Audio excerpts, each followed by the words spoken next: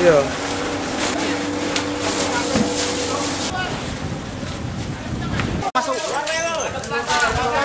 Jumat sore kebakaran hebat terjadi di RT 5 dan 12 Kelurahan Rawasari, Kecamatan Alam Barajo, Kota Jambi. Akibatnya 17 rumah warga hangus dilalap si jago merah.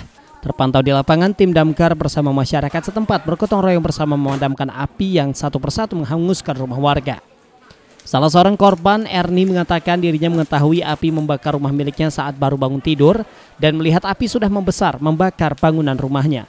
Dirinya pun berusaha lari keluar rumah untuk menyelamatkan diri. Tidak ada barang yang bisa diselamatkan karena api dengan cepat membesar. Dirinya berharap pemerintah secepatnya memberikan bantuan kepada korban. Semoga ada bantuannya untuk kita peduli untuk korban kebakaran.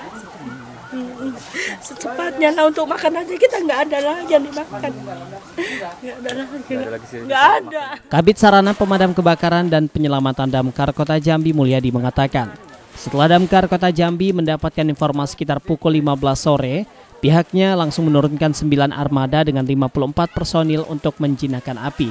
Dan tim baru berhasil memadamkan api dalam waktu sekitar satu jam. Tidak ada korban jiwa dalam peristiwa ini. Untuk kerugian dan penyebab kebakaran masih diselidiki oleh petugas. 9 unit. Kalau untuk anu personilnya berapa orang? Maksudnya satu mobil 6, 6 kali 9, 54. 54 personil. bukan bukan ada informasi hilang Ya? bukan sementara Ah, belum bisa kita dana. Azam Asmi, Jambi TV.